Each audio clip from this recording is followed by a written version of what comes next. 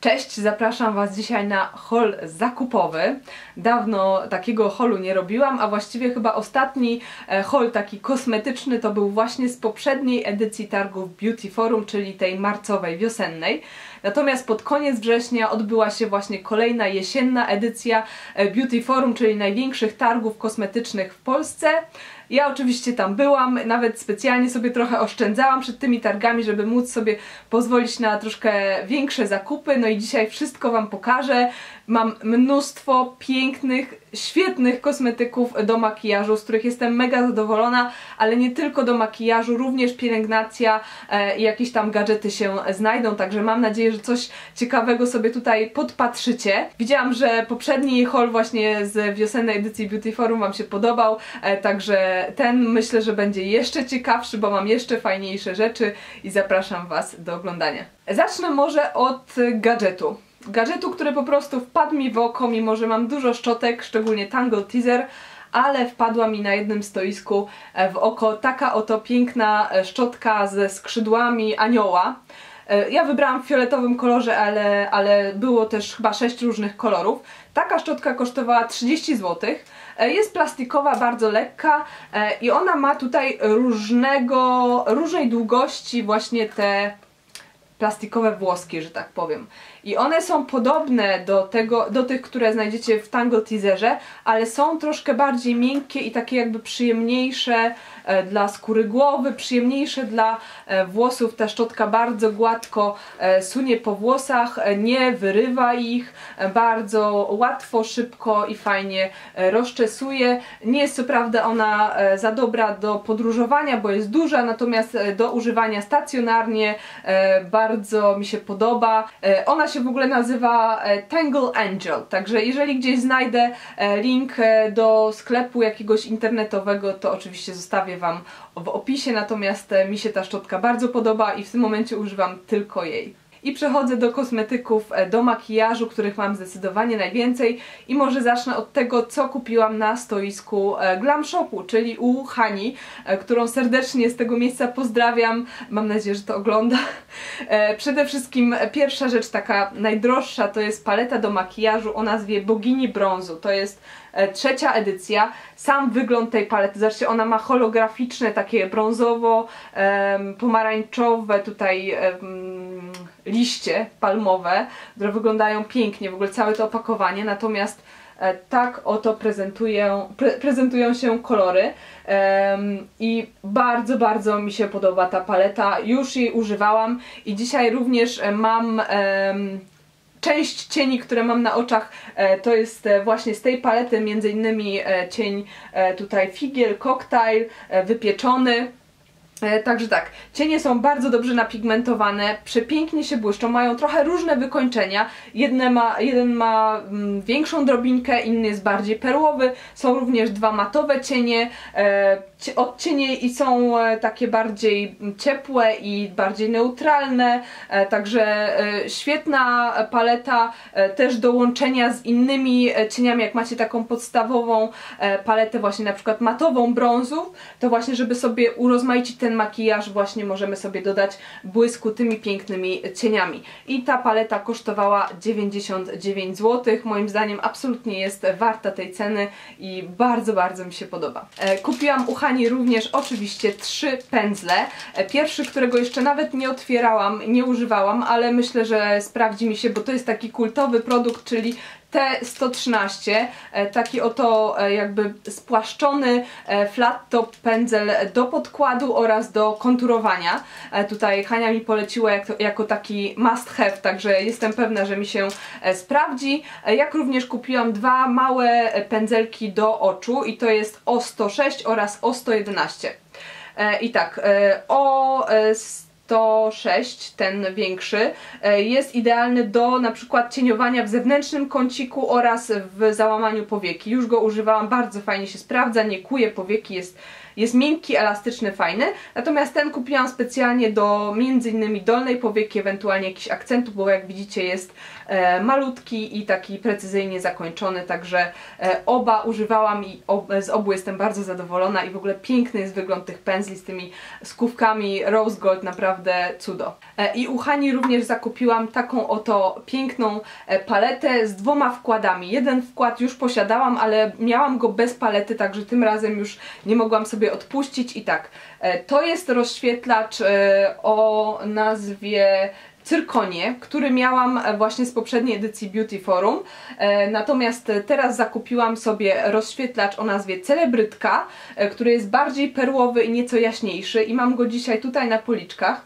Także mo możecie same ocenić jak on wygląda przynajmniej w kamerze. Mi się bardzo podoba. Piękna tafla bez jakichś brokatowych drobinek, piękny kolor taki złoto-cielisty, że tak powiem, jasny, bardzo ładny oraz zakupiłam również róż do policzków, który również mam w tym momencie na policzkach, także możecie sobie zobaczyć jak on się prezentuje. To jest matowy róż o nazwie Panna Młoda i tutaj również kupiłam go z polecenia Hani, bo to jest taki też must have, taki róż, który mm, bardzo ładnie e, właśnie dodaje świeżości cerze, podkreśla urodę i pasuje niemal do każdego makijażu i niemal każdemu, także bardzo jestem zadowolona, jakość jest świetna, bardzo dobra pigmentacja, zresztą po tym rozświetlaczu, który od wiosny używam, wiedziałam, że to będą dobre produkty i taka paleta jest też bardzo e, ładna i poręczna. E, I jeszcze jedna rzecz z Glam Shopu, którą kupiłam, to jest jeden pojedynczy cień, który sobie umieściłam w takiej innej palecie, którą zaraz Wam pokażę. I to jest cień o nazwie Plan B. I to jest taki e, bardzo jasny, perłowy, właśnie fiolet, fioleto lila, że tak powiem, o może Wam tutaj zesłoczuję. Taki bardziej, nie wiem czy to widać, Boże, on się bardzo błyszczy, jest bardzo właśnie perłowy e, i e, właśnie ma taki liliowo-różowy e, kolor. On kosztował 12 zł. I teraz przejdę do zakupu na stoisku e, Let's Beauty, e, który ma w swojej ofercie e, kosmetyki Nabla. I właśnie z Nabli pochodzi ta oto paleta, e, paleta, w której mam rozświetlacz oraz dwa cienie. I najpierw powiem o rozświetlaczu, który naprawdę mnie zachwycił. Widziałam chyba u Ewy właśnie Red Lipstick Monster ostatnio, że ona też ma ten rozświetlacz. On się nazywa Obsext. Tak mi się wydaje, że tak się czyta. E, I to jest rozświetlacz, e, absolutnie wyjątkowy e, kolor, który jest złoto, brzoskwiniowy, brzoskwiniowo-różowy, że tak powiem. Tutaj, e, tutaj go nałożyłam, jak widzicie przepięknie się e, błyszczy, bardzo mocno odbija e, światło, natomiast jest taki wielowymiarowy właśnie i mieni się właśnie lekko na brzoskwiniowo i na złoto, naprawdę cudeńko, cudeńko, także bardzo jestem zadowolona z tego rozświetlacza.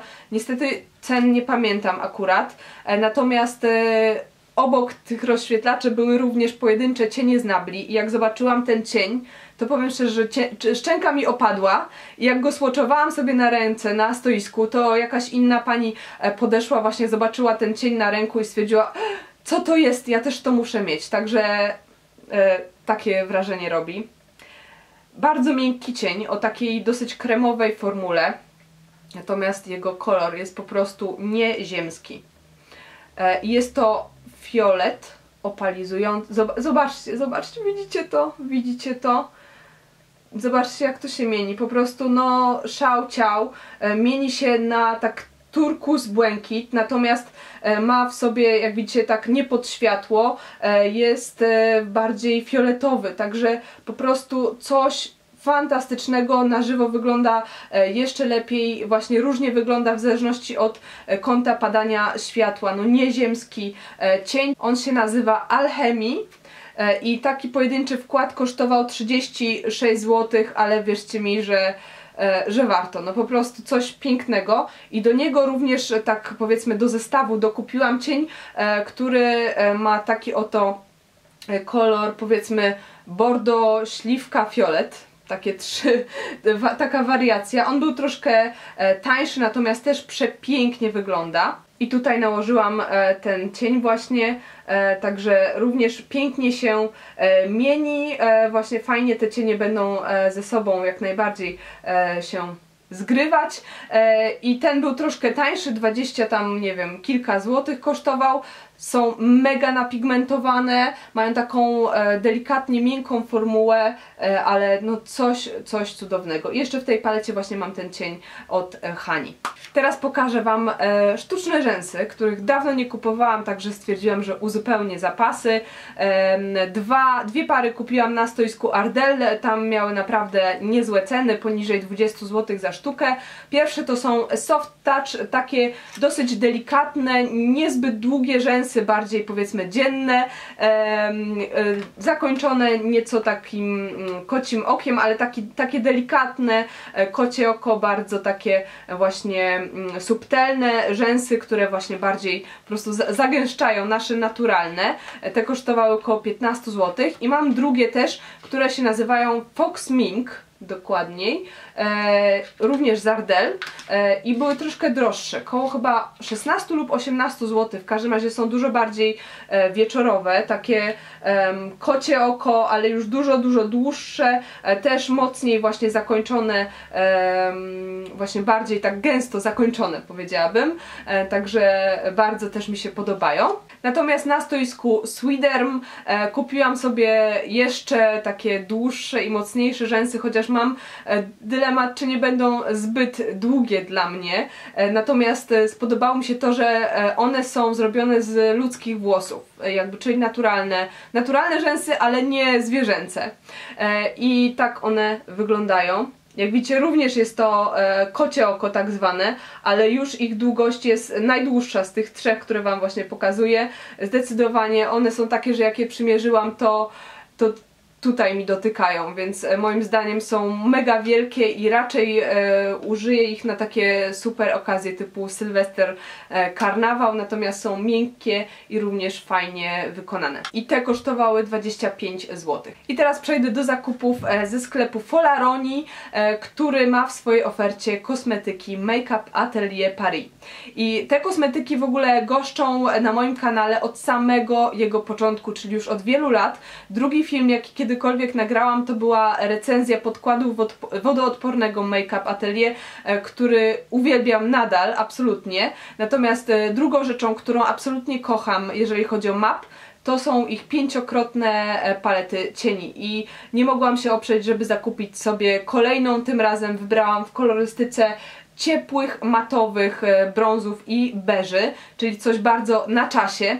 I ja Wam powiem tylko, że to są najlepsze cienie prasowane, z jakimi kiedykolwiek miałam do czynienia. Mówię to z pełną e, świadomością. E, testowałam również e, marki selektywne i mam mnóstwo i Too Faced, i mm, Urban Decay, i Maca mam e, i tak dalej, ale żadne z tych cieni nie równają się do Make Up Atelier. To są cienie prasowane, wodoodporne ja je testowałam kiedyś na basenie nawet i one się utrzymały, wyobraźcie sobie, po kąpieli w wodzie, w jacuzzi oraz wizycie w saunie.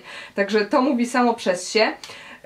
Są to mega napigmentowane cienie, ja również mam e, dzisiaj je na oku, E, to co jest matowe u mnie na oku to jest właśnie e, z tej, z tej palety, jestem niesamowicie zadowolona, bo są to piękne cienie, niesamowicie napigmentowane, mega trwałe, bardzo dobrze się z nimi pracuje, to jest coś stworzonego właśnie przez profesjonalistów, dla profesjonalistów.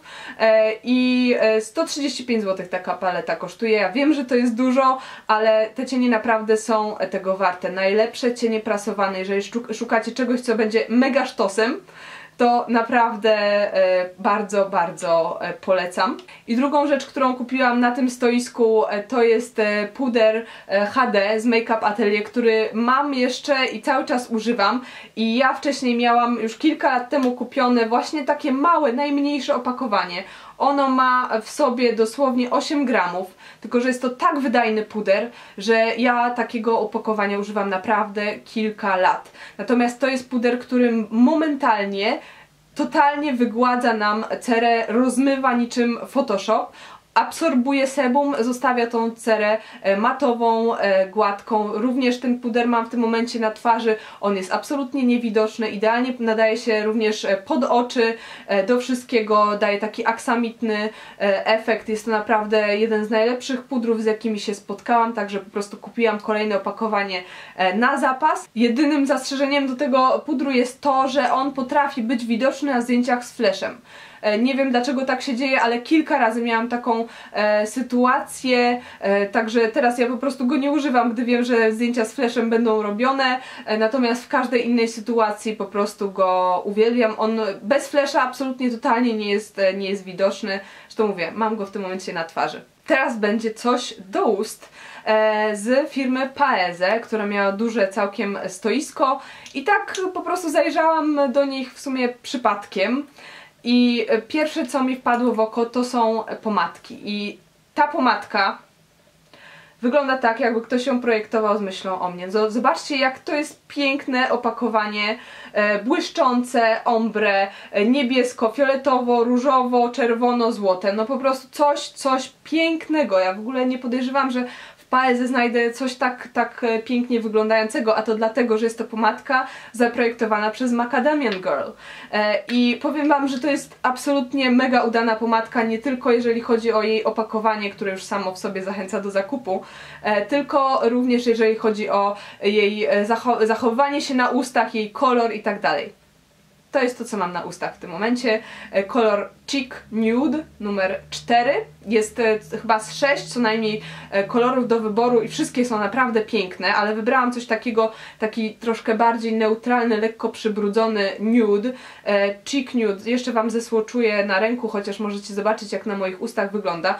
Całkowicie matowa pomadka. Na początku jest delikatnie satynowa, bardzo komfortowa na ustach. Nie czuję żadnego, żadnej skorupy, żadnego wysuszenia, e, zjada się bardzo równomiernie, aczkolwiek e, jej trwałość uważam, że jest bardzo dobra, można jeść, pić i nie mamy obaw, że nam nagle tutaj połowa pomadki e, zniknie, także zarówno komfort noszenia, jak i trwałość są naprawdę mega. Nie pamiętam dokładnie ceny, wydaje mi się, że koło 40 zł kosztowała, Natomiast jestem absolutnie zachwycona i myślę, że kupię sobie jeszcze kolejne kolory właśnie e, z tej serii. Uważam, że tutaj Macadamian Girl dała naprawdę mega popis. E, I jeszcze wybrałam sobie drugą pomadkę również z Paeze, e, Paeze Artist numer 700, które jest bardziej kolorem nude. Tutaj mam bardziej różową, natomiast ta jest powiedzmy, że różowym nudem, jaśniejszy kolorek. I tutaj Wam tutaj Wam ją e, pokazuję właśnie. One się mogą wydawać podobne, natomiast ta ma chłodniejszy odcień i jest jaśniejsza, taka jeszcze bardziej neutralna i takich pomadek właśnie szukałam specjalnie e, i tą pomadkę też raz już nosiłam i tak naprawdę jej jakość jest bardzo podobna do tej właśnie z Macadamian Girl. Ona jest moim zdaniem jeszcze bardziej satynowa powiedzmy, natomiast bardzo przyjemnie właśnie się nosi. Może troszeczkę mniej trwała od tej, ale to, ta różnica jest naprawdę niewielka. W każdym razie uważam, że też jest to, jest to bardzo udana matowa pomadka, także z tego też jestem mega zadowolona. E, oraz również e, miło bardzo ze strony Paeze, że dostałam w gratisie błyszczyk. Błyszczyk e, Beauty Lip Gloss e, numer 624, taki oto brzoskwiniowy, bardzo ładnie błyszczący błyszczyk. I jeszcze jedna rzecz, e, którą kupiłam totalnie w ciemno, jeżeli chodzi o paezę właśnie. Podkład. Podkładu się nie powinno w ciemno kupować, a już tym bardziej nie testując dokładnie koloru ale e, jestem mega zadowolona, że to zrobiłam. Nie słyszałam w ogóle totalnie o tym podkładzie, nie wiedziałam jakie ma opinie i tak dalej, ale pani mi go poleciła, stwierdziłam, a wypróbuję, bo dawno nowego podkładu nie kupowałam. Jest to Liquid Powder Double Skin. Tak wygląda ten podkład e, i tutaj może się wydawać, że to jest mega jasny kolor. Zobaczcie. E, natomiast ten podkład mnie mega zaskoczył. E, otóż może najpierw ja Wam powiem, co producent pisze, bo ja się e, zgadzam ze wszystkim, co tutaj oni napisali. To jest matujący podkład dla cery tłustej i mieszanej, który absorbuje nadmiar sebum, tworząc na powierzchni lekki, e, matowy film. Specjalnie rozdrobnione pigmenty zapewniają jednolity, naturalny kolor.